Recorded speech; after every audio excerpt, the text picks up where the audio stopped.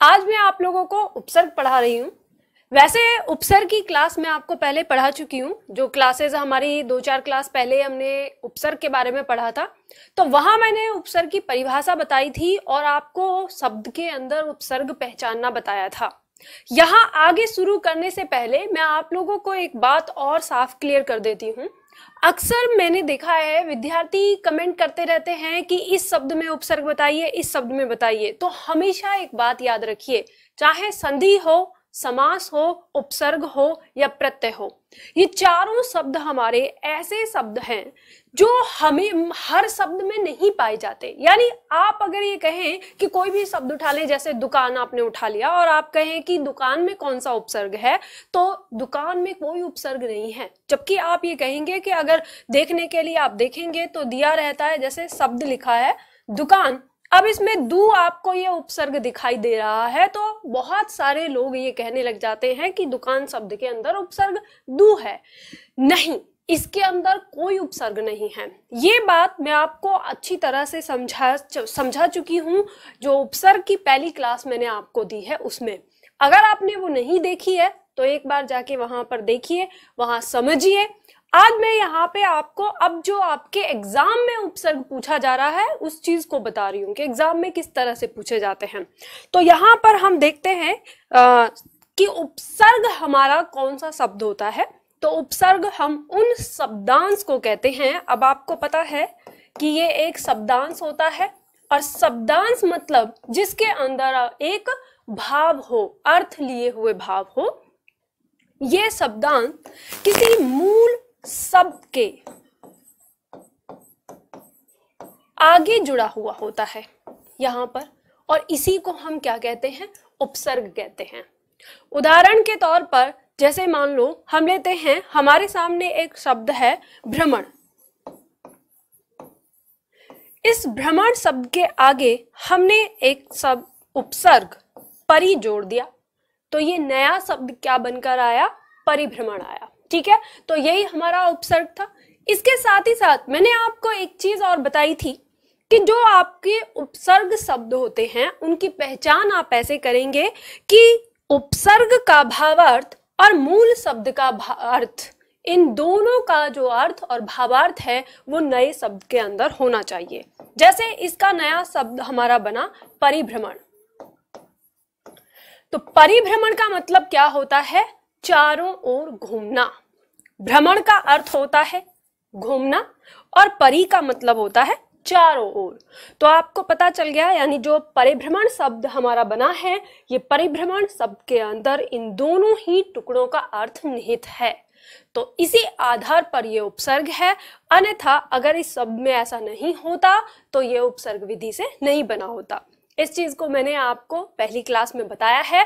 Detail से बहुत उसमें लगभग 10 से 15 मिनट की आपकी वो क्लास है तो आप वहाँ जाकर इसको समझ लीजिए। अब हम उपसर्ग में आगे आते हैं, जो हमें उपसर्ग के बारे में सीखना है अपने परीक्षाओं के लिए, ठीक है? चलिए देखते हैं। उपसर्ग की परिभाषा दी है, इसमें कुछ विशेष बातें। हालाँकि लास्ट क्लास में मैंने आपको बताया था, एक बार फिर से आपको बता देती हूँ। जहाँ यहाँ पर दिया हुआ है प्राय संस्कृत में 22 और हिंदी में 13 और उर्दू में 19 उपसर्ग हैं। ये फैक्ट क्वेश्चन है, आपके एग्ज़ाम में सीधे सीधे पूछ लिया जाता है तो इसको आप याद रखिएगा। इसके बाद यहाँ पर दिया है कि प्राय उपसर्ग विधि से बने नए शब्द का अर्थ उपसर्ग के भावार्थ तथा मूल शब्द के अर्थ के आसपास होता है, ये मैं आप लोगों को समझा चुकी हूँ इस बात को। उदाहरण नीचे दिया है, दो उदाहरण से हमने समझा है। जिस तरह से सत्य दिया है, सत्य का अर्थ होता है सच, इसके आगे उपसर्ग जुड़ा अ अ का भावार्थ होता है नहीं तो शब्द जो हमारा बनकर आया असत्य, उसका अर्थ होता है जो सच नहीं। तो ये असत्य जो शब्द है, ये हमारा मूल विधि से बना है। दूसरा हमारे सामने दिया है जैसे, कीर्ति शब्द है कीर्ति का अर्थ होता है नाम, यानी जो नाम प्रसिद्धि जिसे हम बोलते हैं।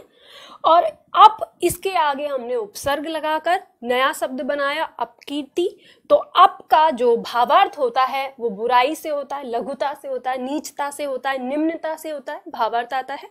तो जब कीर्ति से अपकीर्ति हमने जो शब्द बनाया, इसका अर्थ हो गया बदनामी, यानी कीर्ति का मतलब प्रसिद्धि और बदनामी इसका उल्टा हो गया तो इसके अंदर अर्थ निहित है। यानी ऐसा नाम जो क्या हो, बुरी बात के लिए फैला हो तो बदनामी तो दोनों ही शब्दों के यहाँ पर क्या आ गए? अर्थ आ गए, भावार्थ आ गए। तो ये बात आप समझ चुके हैं। इसमें ये जो आपको मैं आज जो क्लास दे रही हूँ, याद रखिएगा, जो विद्यार्थी हमारे सब्जेक्टिव एग्ज़ाम की तैयारी कर रहे हैं। जैसे यूपी पीसीएस की तैयारी कर रहे हैं यूपीएसआई की तैयारी कर रहे हैं एमपी पीसीएस की तैयारी कर रहे हैं, या जहाँ पर जिन एग्ज़ाम में ये जो ट्वेल्थ के जो स्टूडेंट हैं, उनके लिए भी ये बहुत लाभदायक है उपसर्ग। उनसे भी क्वेश्चन पूछ लिया जाता है, या फिर जो ग्रेजुएशन में व्याकरण पढ़ते हैं, उनके लिए भी कि उपसर्ग किसे कहते हैं, उदाहरण सहित समझाइए, या उपसर्ग से कितने प्रकार के शब्द बनते हैं। तो ऐसे प्रश्न के लिए आज की ये क्लास आपकी सही रहेगी। यहाँ पर हम देखते हैं उपसर्ग के, उपसर्ग जो शब्द हैं, उससे हम तीन प्रकार के शब्द प्रकट करते हैं, यानी बनाते हैं। कौन कौन से? विलोम शब्द, पर्यायवाची और नई विशेषता वाले शब्द। मैंने आपको इसे बोर्ड पर इसलिए लिख कर दिया है ताकि आपको नोट्स बनाने में कोई प्रॉब्लम ना हो। आप आसानी से अपना नोट्स बना सकते हैं सही तरीके से। सबसे पहले देखते हैं हमारे सामने दिया है विलोम शब्द। विलोम शब्द तो विलोम शब्द हमारा किस तरह से बनता है? मूल शब्द दिया है हमारा। मूल शब्द के आगे हमने उपसर्ग जोड़ा, आ। गमन गमन का विलोम हो गया आगमन। गमन माने चले जाना, आगमन माने आ जाना, ठीक है? उसी तरह से मान, मूल शब्द है हमारा। इसके आगे हमने उपसर्ग जोड़ा, अप। और इससे शब्द हमारा बन गया अपमान। तो मान का मतलब इज़्ज़त, सम्मान। और अपमान का मतलब किसी की बेइज्जती कर देना। विलोम हो गया उसका। तो यानी हमें पता चलता है कि जो हमारे उपसर्ग हैं, उनसे हम विलोम शब्द भी बना सकते हैं। ठीक है? अगला हमारा आता है पर्यायवाची। यानी हम उपसर्ग से क्या बना सकते हैं? पर्यायवाची शब्द बना सकते हैं। जैसे हमारा यहाँ पर शब्द दिया है, भ्रमण। भ्रमण के आगे हमने परि उपसर्ग लगाया और इसका पर्यायवाची बना दिया परिभ्रमण भ्रमण। का मतलब होता है घूमना और परिभ्रमण का मतलब चारों ओर घूमना। हम कह ही सकते हैं घूमने फिरने के लिए दोनों का अर्थ आ जाता है तो दोनों पर्यायवाची हो जाते हैं। इसके बाद जैसे शब्द दिया है रोध। रोध मूल शब्द है, इसके आगे हमने लगा दिया नी। नी माने नहीं होता है, रोध माने भी रोक लगाना। और फिर इससे जो शब्द बना है निरोध ये भी हो गया रोक लगाना। तो दोनों शब्द क्या हो गए? पर्यायवाची हो गए एक दूसरे के। चलिए, इसके बाद अगला देखते हैं। आगे शब्द यह है आपका नई विशेषता वाले। यानी तीसरा प्रकार होता है नई विशेषता। जैसे ना ही तो शब्द से उसका विलोम बनता है और ना ही शब्द से उसका पर्यावाची बनता है। इसमें एक नए ही अर्थ रखने वाले शब्द बनते हैं। तो तीसरा प्रकार आता है, जैसे इसमें दिया है, मूल शब्द है हमारा शासन, और शासन के आगे अनु जोड़ के हमने नया शब्द बनाया अनुशासन। ठीक है? ऐसे ही दिया है, जैसे कार एक शब्द है। कार का मतलब होता है करने वाला। अब यहाँ कार का मतलब गाड़ी से नहीं है। इसके आगे हमने उपसर्ग लगाया अधि, और अधि में हमारा बन गया शब्द फिर अधिकार। तो कार मतलब करने वाला, अधिकार मतलब अपना हक दिखाने वाला, ठीक है? तो इस तरह से नया शब्द बन गया इसके अंदर। अब इसी दे, जब हम देखते हैं, उपसर्ग जो हमारे तीन प्रकार के बताए, अब हम देखते हैं कि संस्कृत भाषा में हमारे कौन कौन से उपसर्ग दिए हैं। ध्यान रखिएगा इनको, जो हमारे संस्कृत भाषा के अंदर उपसर्ग दिए हैं। बाईस उपसर्ग हैं इसमें, जो कौन कौन से हैं? अति, अधि, अनु, अप, अभि, अव, आ, उत। उप, दुर, दुस, दु, नी, निर, निश, परि, परा, प्र, प्रति, वी, सम, सु। ये 22 हमारे संस्कृत के उपसर्ग हैं। आप इनको लिख लीजिए नोट डाउन कर लीजिए। अब देखिए, हमें क्या इनके शब्दों को जब हम इन उपसर्ग से नए शब्द बनाएँगे तो हमें ध्यान रखना है। जैसे सबसे पहले दिया है मैंने, आपको इस तरीके से दिया है। ये पीडीएफ आप जो दिया सामने दिख रहा है आपको, इनको उतार लीजिए, आपको पता चलेगा। यहाँ हमारा उपसर्ग दिया है। उपसर्ग है अति। नीचे इसका भावार्थ दिया है। भावार्थ भी आपको जानना ज़रूरी होता है कि किसी भी कि इस उपसर्ग का क्या भावार्थ होता है। भावार्थ आ गया इसका अधिक या ऊपर से आ गया है। इसका देखो, शब्द इससे निर्मित किस तरह से बनेंगे सब? जैसे दिया है हमारा, मूल शब्द है रिक्त, इसके आगे हमने अति लगाया तो बन गया ये अतिरिक्त। फिर आगे दिया है हमारा अधिक अधिक में हमने अति लगाया, ये बन गया अत्यधिक। फिर आचार आचार में अति लगाया तो ये बन गया अत्याचार। यहाँ पर आपको एक और विशेष बात सिखानी है। आपने यहाँ देखा कि जो अतिरिक्त है, इसमें आपको जो उपसर्ग है, वो स्पष्ट दिखाई दे रहा है, ठीक है? लेकिन जो अत्यधिक और अत्याचार, इसमें आपको स्पष्ट नहीं दिखाई दे रहा है। तो ये कैसे बना? अब आपको यहाँ पर ये बात ध्यान रखनी है कि ये जो दोनों शब्द हैं हमारे, इनके अंदर उपसर्ग विधि के साथ साथ संधि विधि का भी प्रयोग हुआ है। अब आपके एग्ज़ाम में यहाँ से क्वेश्चन बन जाता है। आपसे ऐसे, जैसे सपोज़ करो, आपको अत्यधिक शब्द दे दिया और आपसे पूछा गया कि अत्यधिक शब्द किस विधि से बना है? उपसर्ग विधि से बना है, संधि विधि से बना है या दोनों से बना है? तो ध्यान रखिए, यदि आपको ऑप्शन में दोनों का ऑप्शन दिया हो तो आपका आंसर दोनों होगा। और अगर आपके ऑप्शन में मान लो चार ऑप्शन दिए और आपसे पूछ लिया गया कि संधि, समास, उपसर्ग या प्रत्यय किस विधि से बना है तो याद रखिएगा, आपको संधि लगाना पड़ेगा। आप कहेंगे कि मैडम, आपने तो यहाँ पर लिख कर दिखाया है, फिर आप संधि क्यों बता रही हैं? तो ध्यान आपको ये रखना है कि हमें प्रथम दृष्टि में जो चीज़ नज़र आती है, हम उसका परिचय उसी में करते हैं। जैसे, अत्यधिक शब्द के अंदर हमें प्रथम दृष्टि में संधि नज़र आती है, क्योंकि यहाँ पे हमें य, शब्द के बीचों बीच य और उससे पहले आधा वर्ण ये दिखाई दे रहा है, जो ये किसकी पहचान मैंने आपको बताया है? यण संधि की पहचान बताया है। तो एकदम स्पष्ट दिख रहा है। अब इसके अंदर उपसर्ग हमें तब पता चलता है, जब हम इसका संधि विच्छेद करते हैं कि इसके अंदर कोई उपसर्ग भी है। इसी के ठीक ऊपर ये जो शब्द आपका लिखा है, इसमें आपको जो उपसर्ग है, स्पष्ट दिखाई दे रहा है। तो जिन शब्दों में उपसर्ग स्पष्ट दिखाई दे रहा है तो वो आपका उपसर्ग से बन गया और जिसमें स्पष्ट संधि दिखाई दे रही है तो उसका आंसर आपको पहले संधि रखना होगा। यदि ऑप्शन में दोनों है, उपसर्ग एवं संधि तो आप आंसर फिर उपसर्ग और संधि दोनों से लगाएँगे। चलिए, आपको उपसर्ग के साथ साथ एक और नई बात सिखा दी है मैंने तो अब ये ध्यान रखिएगा, आप निधि मैडम से क्लास ले रहे हैं और निधि मैडम से पढ़ने के बाद आपके एग्ज़ाम में कोई क्वेश्चन गलत नहीं होना चाहिए, क्योंकि मैं आपको चारों तरफ़ की चीज़ों को बताती हूँ। यानी जैसे भी क्वेश्चन इससे बन सकते हैं। आपको पढ़ाती उस तरीके से हूँ, जिस तरीके से कि आपने एक बार जो चीज़ सीख ली, वो आपके दिमाग में बैठ जाती है। अब एग्जामिनर चाहे जितने प्रकार से आपसे क्वेश्चन पूछे, आप तैयार हैं पूरी तरह से।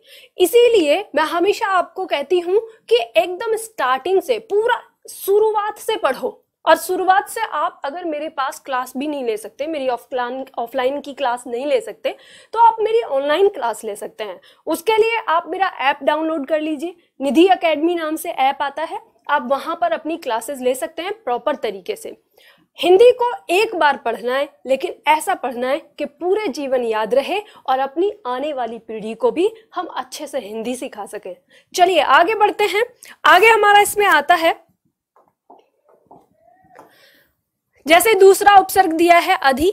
अब इसके बाद मैं धीरे धीरे सारे उपसर्ग को आपको दिखा दे रही हूँ। आप इन्हें उतार लीजिएगा आराम से रोक कर इसके बाद तीसरा है हमारा उपसर्ग अनु। इसका भावार्थ है पश्चात समानता, स्वयं, पीछे। अलग अलग हो सकते हैं। भावार्थ हमारे एक से अधिक हो सकते हैं। ध्यान रखिएगा। इसके बाद अगला चौथा उपसर्ग है हमारा अप। इसके भावार्थ हो जाएगा लघुता, हीनता। आगे देखते हैं। अगला आता है हमारा पांचवा। अभी इसका भावार्थ श्रेष्ठ पास अति अधिकता से रहेगा। नेक्स्ट शब्द है हमारा अब। अब जो हमारा उपसर्ग है इसका भावार्थ है नीच हीनता अनादर दूर अलपता आदि से। नेक्स्ट है हमारा उप, आ उपसर्ग है जिसका भावार्थ है तक उल्टा समेत। आगे अगला देखिए। अगला उपसर्ग है परी। परी का भावार्थ आ जाएगा आसपास या चारों ओर।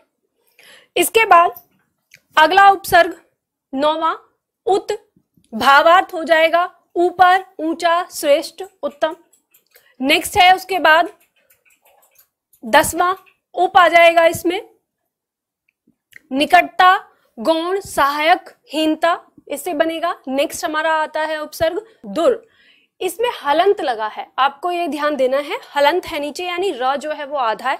इससे जब भी कोई हमारा शब्द बनेगा, आपको इसमें सावधानी बरतनी है।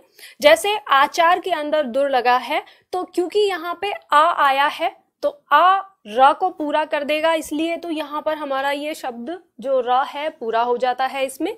लेकिन जो नीचे जैसे गम लगाया है तो दुर्गम तो ये र हमारा आधा हो जाता है। इस चीज़ को आपसे, आपको ध्यान से रखना है इस चीज़ का।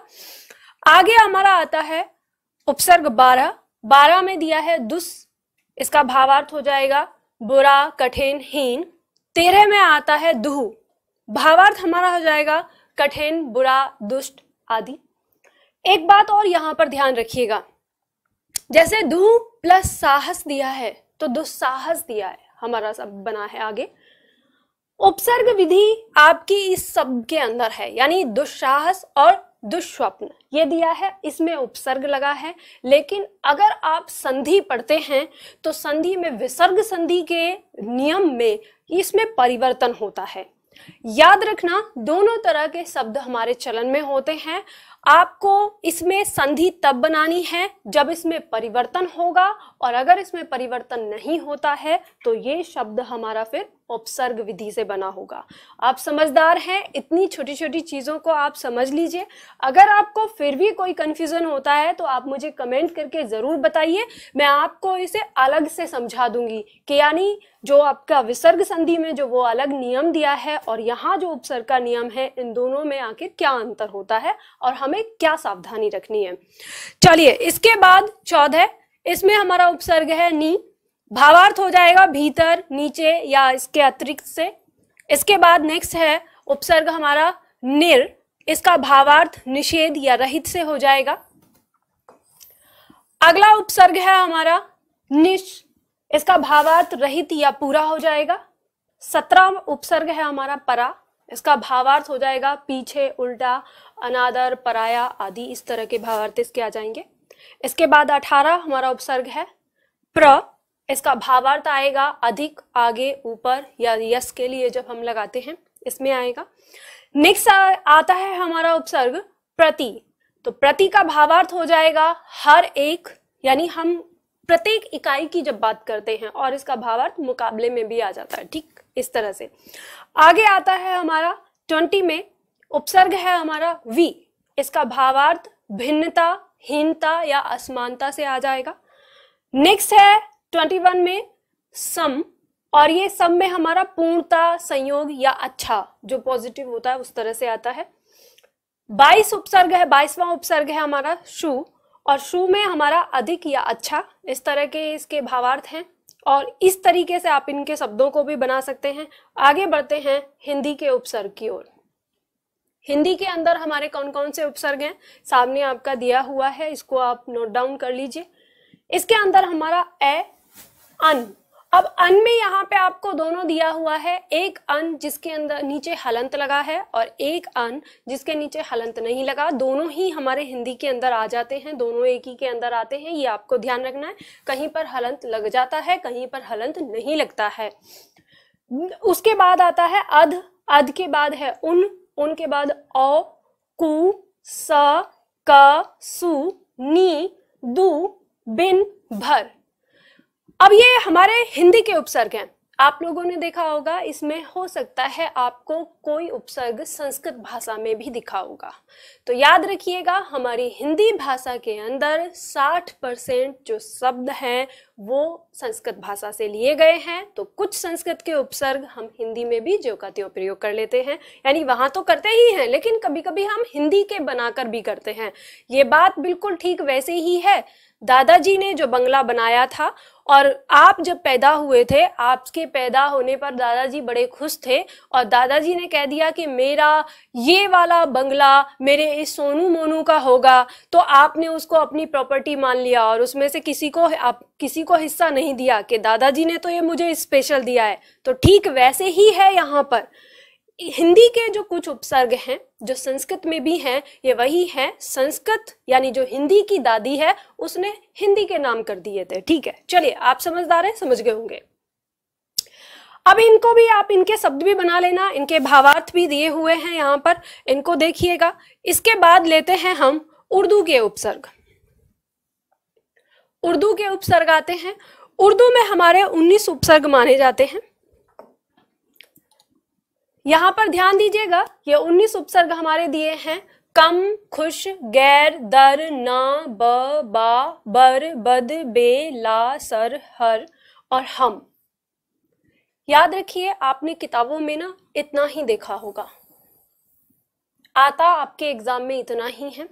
इसके बाद जो आपका अल, एन, फ़ी, बिल, बिना जो दिया है ये वे शब्द आपके दिए हैं, ये वे उपसर्ग हैं, जो आपके एग्ज़ाम में उतना ज़्यादा पूछे भी नहीं जाते हैं। चलन में भी बहुत कम है, जहाँ पर बहुत ज़्यादा ही उर्दू बोली जाती है, वो लोग इसको चलन में रखते हैं।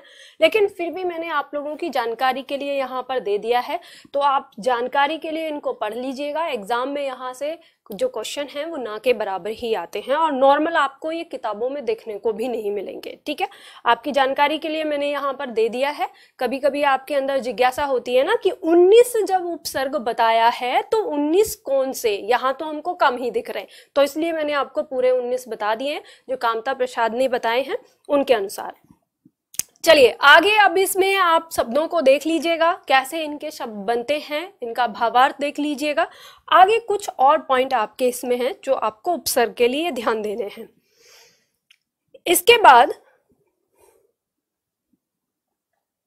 इनके अलावा कुछ ये उपसर्ग हैं, जो हमारे आरओ के मेंस के लिए यूपीपीसीएस के मेंस के लिए बहुत ज़्यादा महत्वपूर्ण है। इनका स्क्रीनशॉट ले लीजिए। आपको ये याद करने के लिए आसान रहेगा। ये हमारे एग्ज़ाम में काफ़ी पूछे जाते हैं, जो हमारे सब्जेक्टिव एग्ज़ाम हैं, जिसके अंदर सब deputy, general, vice, chief, head, इनको हम अंग्रेज़ी के उपसर्ग कहते हैं, क्योंकि हमारी हिंदी भाषा में आजकल अंग्रेज़ी भाषा के शब्द बहुत ज़्यादा प्रयोग हो रहे हैं तो इस वजह से ये हमारे एग्ज़ाम में भी पूछे जाते हैं। इसके बाद कुछ ऐसे उपसर्ग हैं, जो हमें ये नहीं पता कि ये कौन सी भाषा से हमारे आ, हिंदी में शामिल हुए हैं लेकिन फिर भी ये हमारी हिंदी भाषा के अंदर शामिल रहते हैं। तो आप इन उपसर्ग के बारे में भी अपनी जानकारी रख लीजिएगा। ये डायरेक्ट नहीं पूछे जाते लेकिन हमारे वर्तनी शुद्धिकरण या फिर हमारे संधि या फिर हमारे समास आदि शब्दों में इनका प्रयोग होता रहता है तो ये हमारे सामने आते रहते हैं। इसलिए हमें इनके बारे में पढ़ना ज़रूरी है। ठीक है, आप इसे देख लीजिए। ये आपके उपसर्ग हैं जो आपको यहाँ पर दिए मैंने।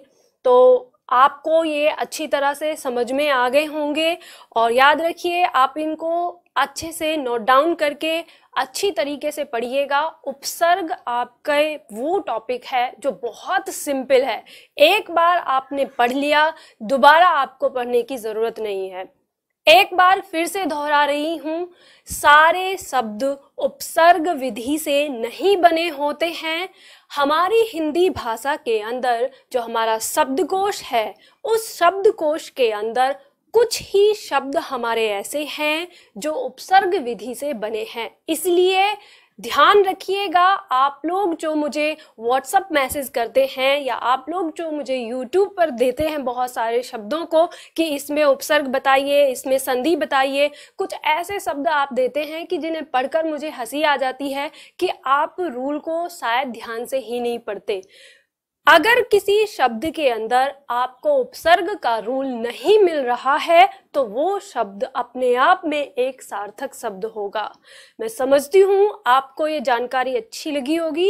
ये वीडियो अगर आपको पसंद आता है तो लाइक करिए, कमेंट्स करिए, और हाँ अपने दोस्तों के साथ शेयर करिए। ज़्यादा से ज़्यादा इस वीडियो को आगे बढ़ाइए, ताकि सब लोग उपसर्ग को अच्छी तरह से जान सकें। धन्यवाद।